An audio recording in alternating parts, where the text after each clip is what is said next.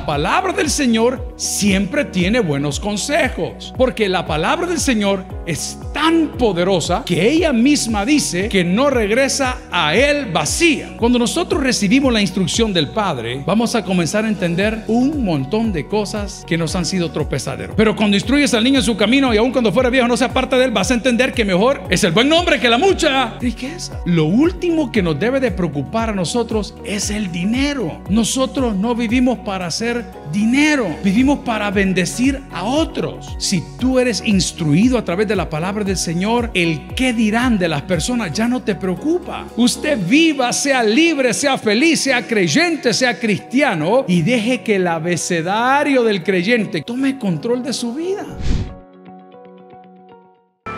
Póngase de pie y abramos la Biblia en Proverbios capítulo 22 y quiero hablarle de el abecedario del creyente. El abecedario del creyente. Importante saber que el libro de Proverbios se le atribuye al hombre más sabio de la historia. No estoy hablando de Sánchez Serén, estoy hablando de Salomón. Estoy hablando de Salomón. Salomón, el hombre más sabio de la historia. Es increíble ver cómo los consejos sabios son perdurables.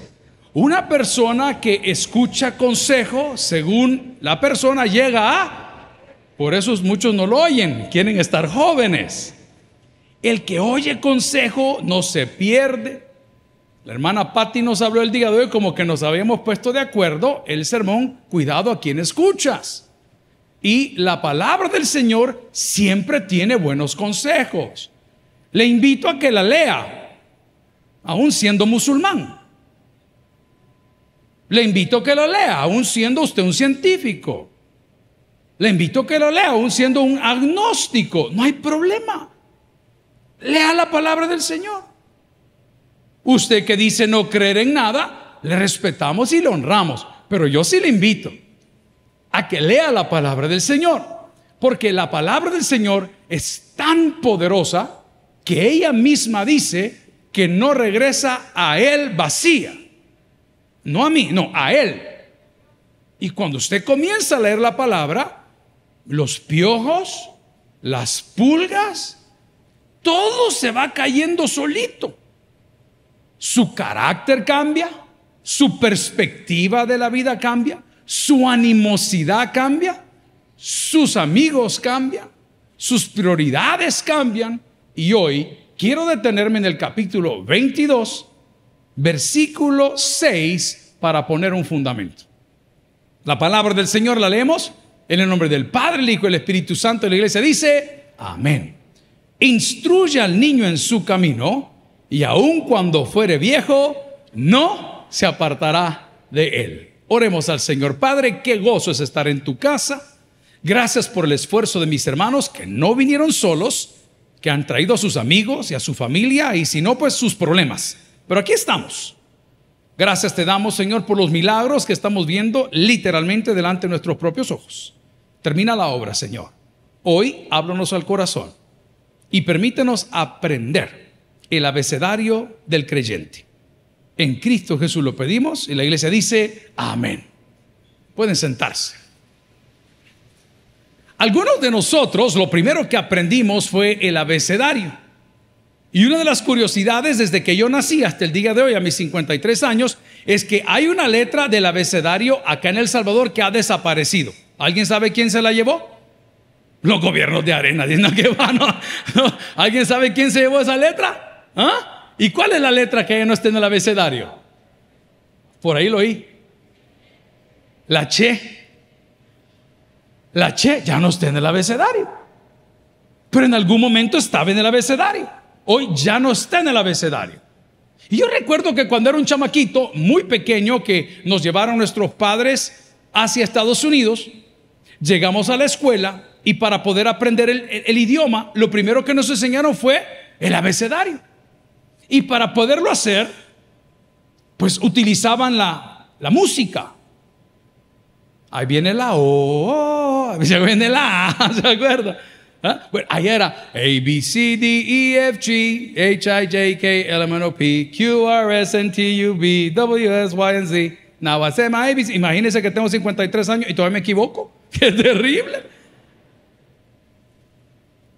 La Biblia dice que el día del niño no se celebra comprándole pastel al sinvergüenza que no trabaja, que no hace nada, que saca malas notas, que no aporta a la casa, que es un gran malcriado y que todo quiere. Esa es la manera como el mundo celebra el día del niño. Y creen que por comprarle una piñata al bicho, el bicho ya le celebraron el día. Comprarle un libro, hombre. Decir las cosas como son. Habla con transparencia de los problemas que tienen como marido y mujer. Porque hemos creado un mundo de fantasía como cuando en los años 90 y 80 apareció una actriz, una cantante que se llamaba Shusha, que terminó siendo mujer de Pelé. Y salía de una nave espacial ella y abrían las puertas y el mundo de Shusha y todo era una fantasía y nuestros hijos a sus 30 años siguen creyendo las fantasías que el mundo les ofrece. Pero la Biblia es clara cuando dice la paga del pecado es muerte, mas la dádiva de Dios, la mano maravillosa de Dios, es vida eterna en Cristo Jesús, Señor nuestro. Si tus hijos no entienden los principios bíblicos, entonces tus hijos van a estar sufriendo siempre.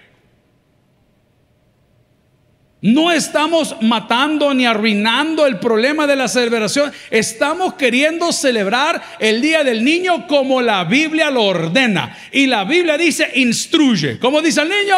Instruye. En otras palabras, enséñele cómo. No estamos hablando de golpear, no estamos hablando necesariamente de corregir, estamos hablando de motivar. Estamos hablando que la criatura que está en casa, que ya tiene 41 años, usted tiene que decirle, mire hijo lindo, ya es tiempo que vaya buscando su propio catre. Ay mami, es que yo contigo quiero dormir. No, hermano. La Biblia dice instruye. Y le voy a decir, a mí me encantó la idea, ojalá lo pueda exponer, de cómo este capítulo nos puede cambiar la vida a todos. Lo primero que dice el proverbista en el versículo 6 es, instruye al niño, llámese niño el neófito, el poco conocedor, el no experimentado. Apliquémoslo a nuestra vida cristiana. Ya lleva añitos por acá, tres añitos, dos añitos, cinco añitos, ocho añitos, ya, ya lleva sus añitos por acá, pero aparentemente esa instrucción todavía no pega, todavía no, no ha permeado, todavía no ha llegado a ese lugar, todavía no ha echado raíces en nosotros. ¿y por qué será? porque no nos estamos alimentando. Porque nos gusta comer mucha chuchería.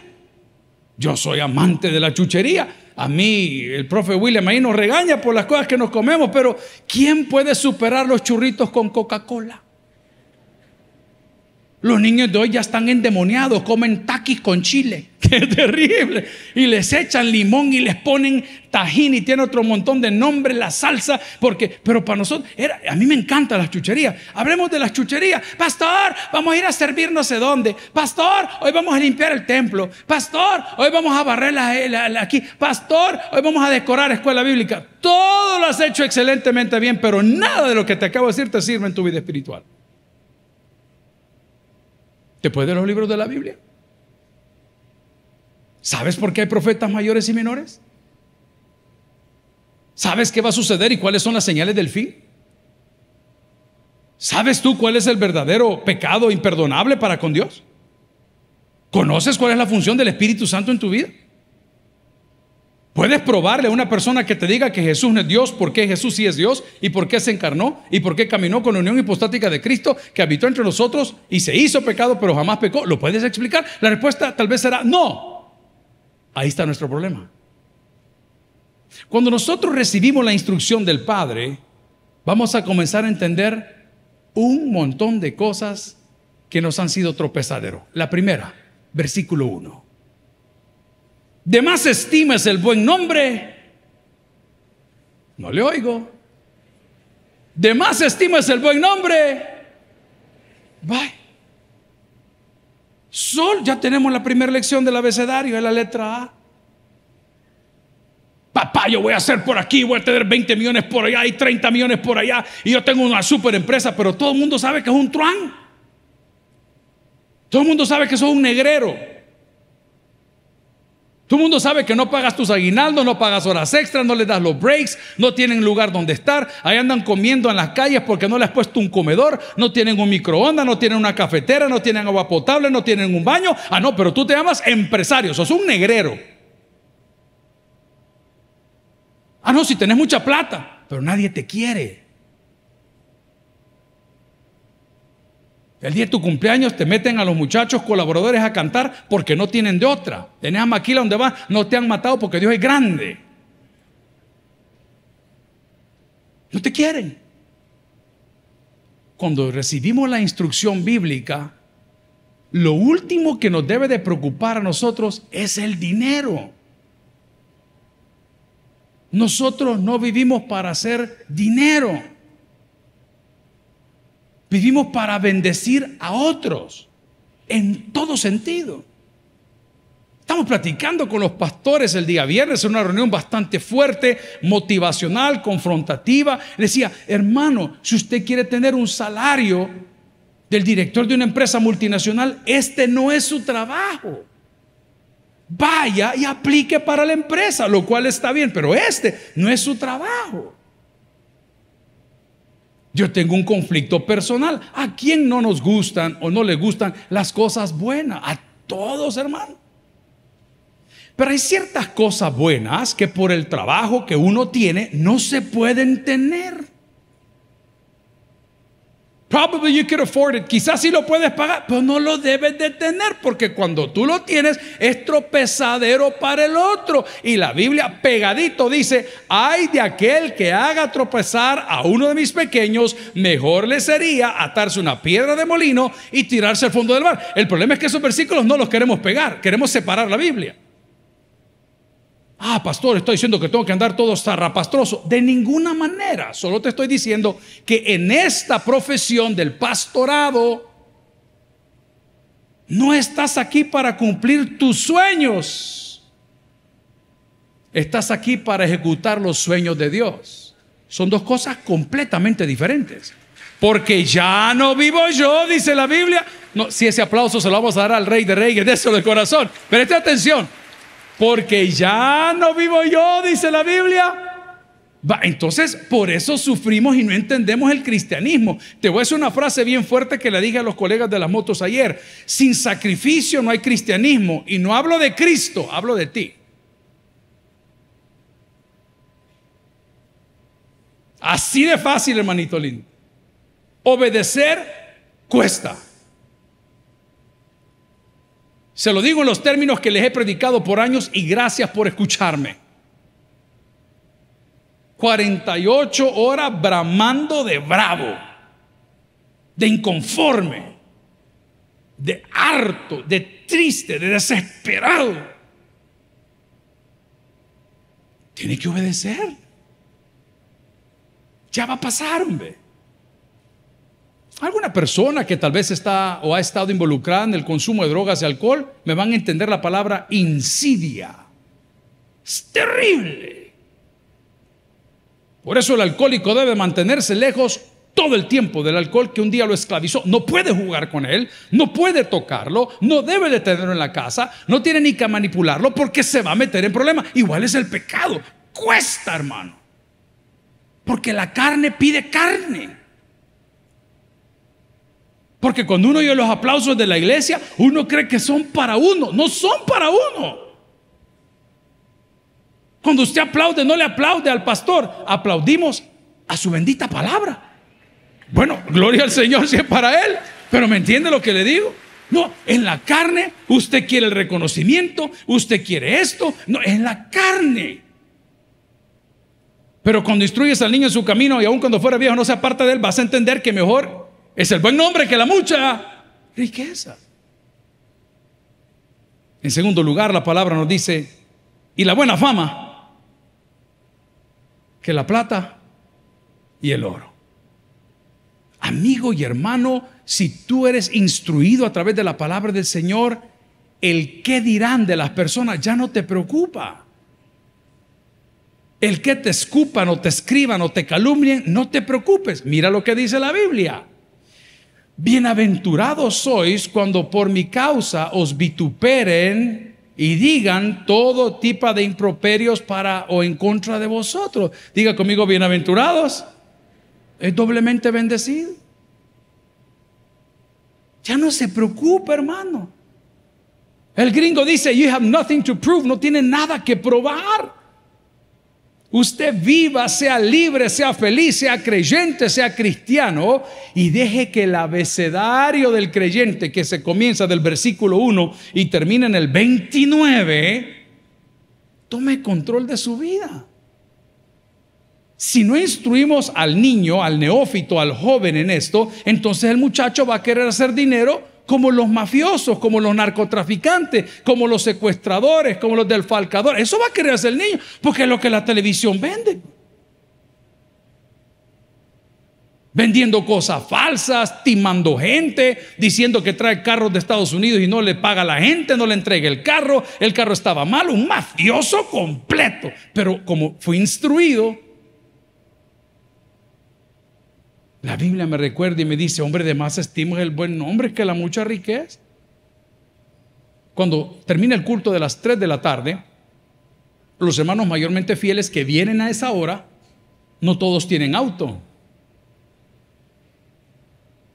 Y muchas veces, lo digo con confianza, yo he evitado salir a esa hora porque me duele el alma, no sé cuánto les ha sucedido porque sé que no estoy solo ver a gente que va caminando y usted bendecido con un carro, ¿me entiende? Dice, pues la hermanita, dos buses va a tomar, dos buses va a tomar. Y sirvió todo el día en la cafetería. Ah, para su casa, la hermanita. ¿Habrá alguien que me acompaña en ese sentimiento acá que me pueda levantar la mano el día de hoy? Es que si no lo siente, usted no conoce a Cristo, hermano. Así de fácil se la voy a poner. Mucha nos hemos dado aquí. Aleluya, hermano. Si usted no siente por su hermano. Y no solo por pobreza, cuando se cae, cuando tropieza, cuando vuelve a beber, cuando se va de su casa. ¿Por qué cree que su iglesia está metida del original hebreo zampada en centros penales todos los días? ¿Por qué cree que estamos metidos en los dormitorios públicos? Para decir que somos una iglesia que trabaja. El Señor ya lo sabe, hermano. Pero mis compañeros mañana a las cuatro y media de la mañana, como ahorita, se fue ya al otro para el centro de menores a celebrar ese Día del Niño. Mientras predicamos también estamos haciendo. ¿Pero por qué? ¿Por qué? Porque hay algo aquí que no lo podemos callar, no lo vamos a guardar. Tenemos que compartirlo. Tenemos que instruir a la gente. Yo a los pastores en las reuniones que tuve este año, terminamos la última, falta la de Europa y la de Estados Unidos, la vamos a hacer vía Zoom. Les pedí que levantaran los manos los que tienen servicio social. Son una vergüenza, papá. El 30% tiene, los demás, ¿qué hacen? Tienen negocios prósperos, tienen librerías, tienen barberías, tienen cafeterías en edificios nuestros y no evangelizan, no sirven al pobre, no tienen centros de desarrollo infantil, no atienden los hogares de la gente, no van a la partolina. Son una vergüenza. ¿Qué les pasó a ellos? No los instruyeron. No les enseñaron. No les dijeron lo de proverbio, el abecedario del creyente, de más estima es el buen nombre que la mucha riqueza y la buena fama más que la plata y el oro. ¿Alguien recibe esta palabra el día de hoy? No se preocupe por lo que anda en la bolsa, preocúpese por lo que anda en el corazón. Cuando usted sepa que Cristo está en su corazón, la bolsita se va a llenar suavecitamente sola. Instruye al niño. También dice la palabra del Señor. El rico y el pobre se encuentran. A ambos, a ambos los hizo Jehová. ¿Sabe qué dice? Dios no se olvida ni del rico ni del pobre. Instruye al muchacho. O sea que el tener pobreza en mi vida no es sinónimo que Dios no está conmigo. O sea que tener riqueza en mi vida no es sinónimo que Dios está a mi favor. Dios está con el rico y está con el pobre. Voy a citar la Biblia. Jesús le dice a la otra gente, hey, no se preocupen, a los pobres siempre los tendréis. vea la Biblia, vaya pegando a la Biblia. Pero muchos de nosotros que estamos acá sin 20 dólares a nuestro nombre y sin un trabajo tal vez y sin una casa propia, decimos, es que Dios conmigo, Dios siempre ha estado contigo. En el cielo no van a revisar tu cuenta de banco, en el cielo van a revisar tu corazón. Por eso la Biblia dice que Dios busca adoradores en espíritu y en verdad. No se queje por la pobreza. Y si Dios lo bendijo con riqueza, dele gracias. Buscando los proveedores para nuestro proyecto Burbujas de Amor. ¿Cómo se llama el proyecto? ¿Y cómo lo explicamos? Es lo único que todos usan, que no le hace daño a nadie. Le hablé a un empresario cristiano Don Fulano le digo, estamos en reunión, necesito 75, 80 mil barras de jabón, necesito ya. Mire, pastor me dijo, yo fabrico esto, fabrico lo otro, pongo aquí, pongo allá. Eh, ¿A qué hora puede llegar a su fábrica? A tal hora. Mañana van mis compañeros para allá. Yo le dije que le quería comprar. Y me dice el empresario, pastor, ¿sabe qué? Me dijo, no le voy a decir la cantidad, pero cuente con la bendición. Por cada jabón que me compre, por cada, yo le voy a dar otro jabón a usted. ¿Le pedí algo? No. Cuando tú trabajas para con Dios, Dios trabaja a tu favor. El rico y el pobre, a ambos los hizo Jehová. No se preocupe. Pero por favor, mi deseo de esta mañana, hablando del niño, es que los instruya. Explíquele a su hijo, hombre. Habrá señoritas aquí que están tristes porque están ganando el salario mínimo pero no andan prestando el trasero a nadie.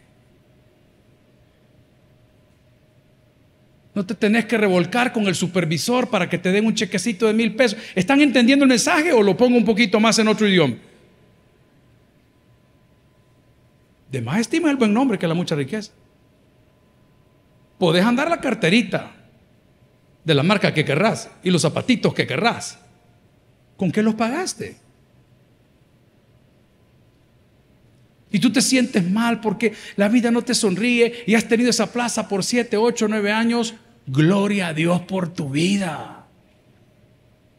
Gloria a Dios por tu honestidad. Gloria a Dios que estás honrando a tus papás. Y dice la Biblia que cuando los honramos, nuestros días son bendecidos sobre la faz de la tierra. El abecedario del creyente necesita ser digerido, gloria a Cristo, y entendido por muchos de nosotros. No, mira, la fulana por ahí anda, mira, allá anda en Europa, allá anda en España. ¿Y cómo crees que ha comprado el boleto? Yo se los comentaba, yo a, mí, yo a, mí, me gustan las cosas buenas. Y a veces veo amigos que prosperan de una manera tan rápida. Y uno dice, oh chica, mano. Y uno todos los días todos los días. Y en la noche, y en la mañana, y haciendo, y a mí nada. Y Dios dice, hijo lindo, vanidad de vanidades. Todo es vanidad. En el abecedario del creyente, en el versículo 3, nos recuerda que hay que instruir a nuestros hijos y al niño para que no se pierda ni tropiece cuando dice, el avisado ve el mal y ¿qué hace? Y se esconde. Mas los simples pasan y reciben el daño. ¿Se acuerda que comenzó hablando la hermana Patti? Cuidado a quien escuchas. Ni un amén.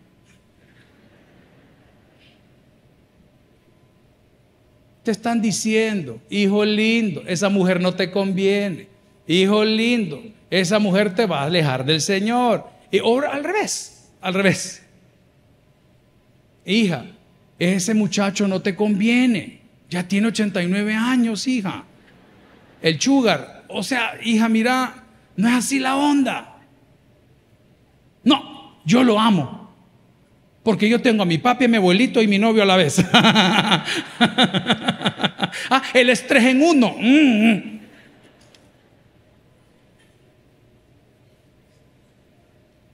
No sé, ahorita está bien. Yo me estoy predicando para mí mismo. No se metan conmigo.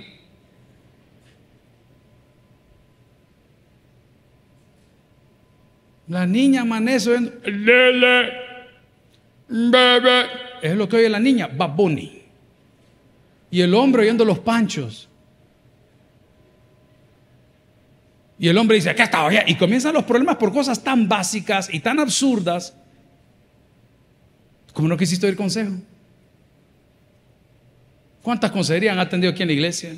Entre Jorge y los pastores, al fulano, al muchacho, no te metas ahí, hijo, renuncia a tal cosa, no te metas. Y no, quisieron oír. Hoy que vamos a Marión, hoy que vamos a predicar la cárcel, ahí están.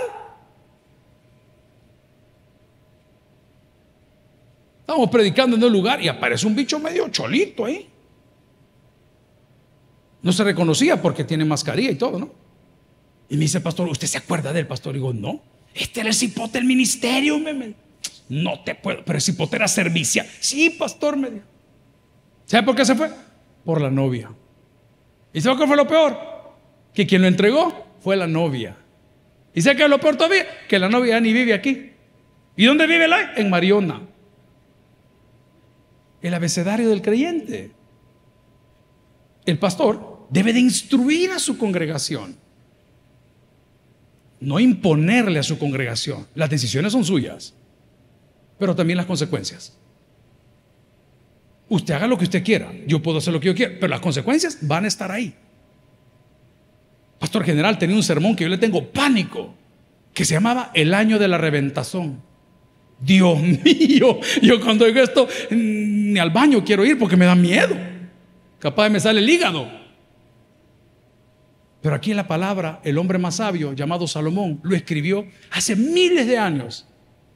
Y si te instruyes conforme a la palabra del Señor, vamos a tropezar menos. El abecedario entonces del creyente o del cristiano dice, de más estimo es el buen nombre que la mucha riqueza y la buena fama más que la oro y la plata. Dos, el rico y el pobre se encuentran, a ambos hizo Jehová. No es que esté con uno y dejó al otro. Tres, el avisado ve el mal y se esconde, mas los simples pasan y reciben el daño. Atención. Cuatro, ¿por qué debo de ser creyente? ¿Por qué debo ir a la iglesia? ¿Y por qué insisten que lea la Biblia? ¿Y ustedes que molestan mi vida? Lea el versículo 4. Riquezas, honra y vida son la remuneración de la humildad primero.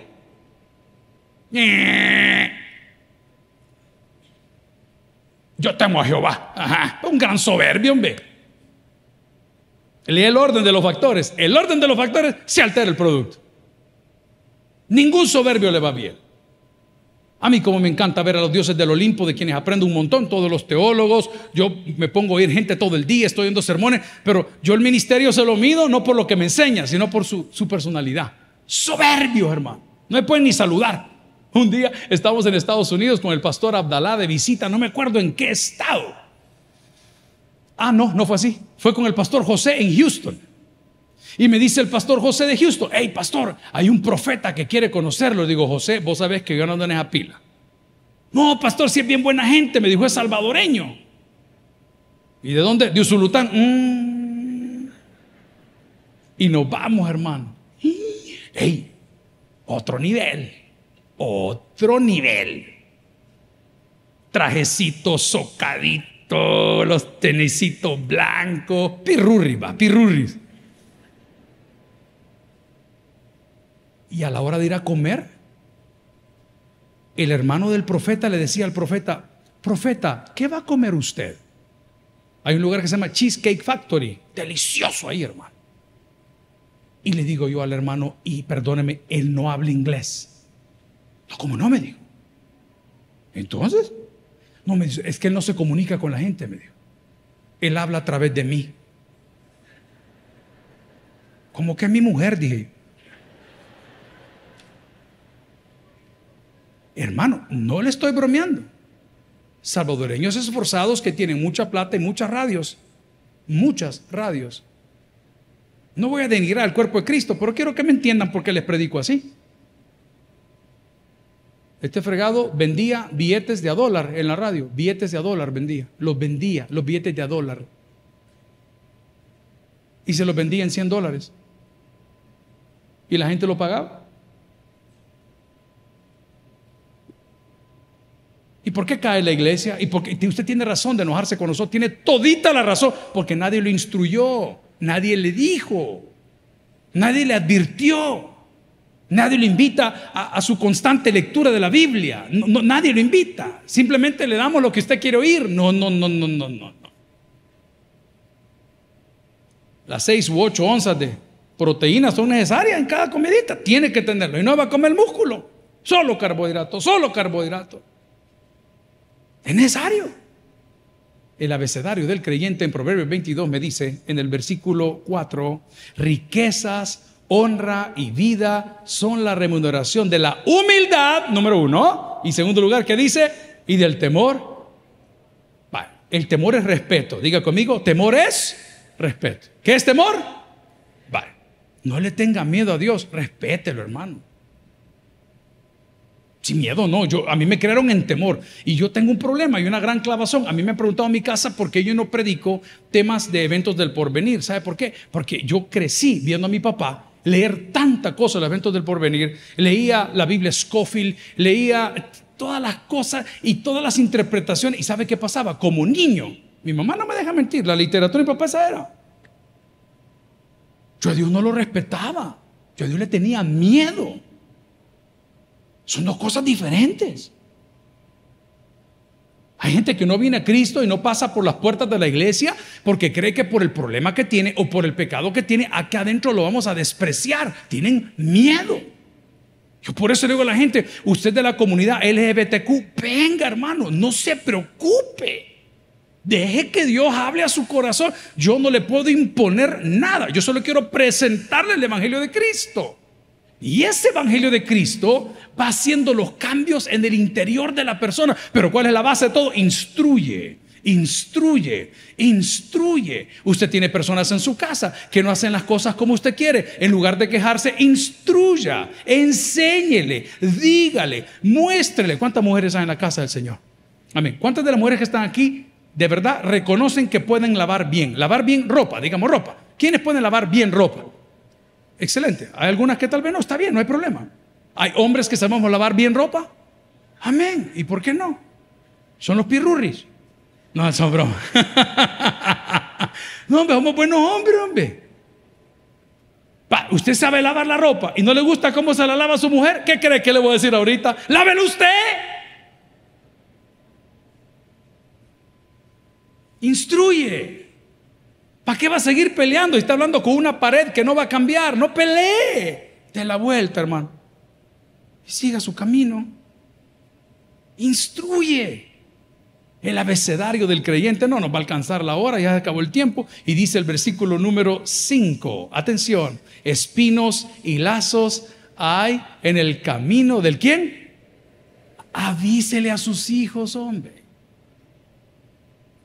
Yo tengo tres hijos y ellos se hacen préstamos del Banco Mundial. Todo lo hacen sigilosamente, no dicen nada, pero cuando ya no se pagan, entonces en el chat de la familia comienza la cobranza terrible. Hey, pasame mi chivo wallet. Hey, vos me debes tanto. Y ahí van las palabras para arriba. Primero vos me debes tanto a las 3 de la tarde, si no han habido abonos, desde Suiza al Salvador, ya me ponen, papi, este perro no me ha pagado. Aquí está la mamá y le pueden preguntar, ¿cuántas veces me ha tocado a mí pagarle al perro, digo, al niño, para que deje de molestar? Y le advierto, le digo, tu hermano es un timador profesional de Tinder. No le prestes dinero, es macaco. No te va a pagar y después te enojas y no tenés para salir. Va, diga conmigo, instruye. Y le dije ese día, esta es la última vez que les pago sus deudas. A partir de hoy, vean cómo sale. Yo por eso peleé a la hora de la ofrenda con su manera de gastar la plata. Usted no tiene plata no porque sea pobre, no, usted no tiene plata porque es un pésimo administrador. Y le voy a dar un tip a los jóvenes que están siendo profesionales, aquí tengo varios. Si ustedes no están dispuestos a sacrificar cinco años de su vida para vivir como quieren vivir, están perdiendo el tiempo.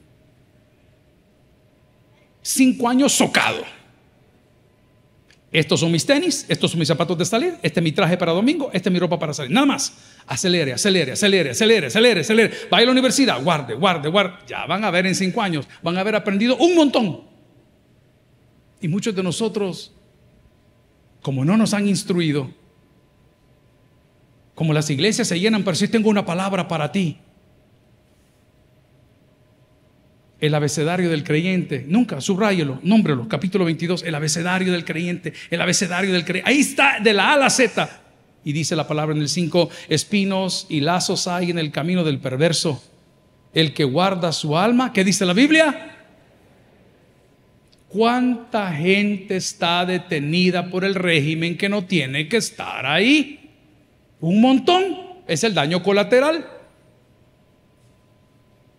¿Cuántas veces ustedes como padres y nosotros como pastores les advertimos a los muchachos que se alejaran de los muchachos?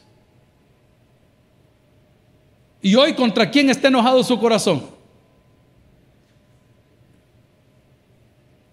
Tiene razón, tiene derecho. Usted tiene derecho a lo que usted quiera. Solo le estoy dando un ejemplo. ¿Cuántas veces yo no le digo a mis hijos, no se suban en carros con personas que no conocen, no porque los van a asaltar, no, no, no, porque si ese bicho consume drogas, anda armas o ha hecho una maldad en ese carro y tú vas en ese carro y la policía detiene ese carro, te van a llevar. El que anda con lobos, instruye al niño en su camino. El abecedario del creyente le puede salvar la vida el día de hoy. Un versículo más. Versículo 8. ¿Han aprendido algo el día de hoy, hermanos? Yo también he aprendido mucho. Si hubiese entendido esto hace años, hubiese cometido mucho menos errores. Dice el versículo 8, el que siembra iniquidad, iniquidad segará. Va, hasta ahí llegue, véame para acá.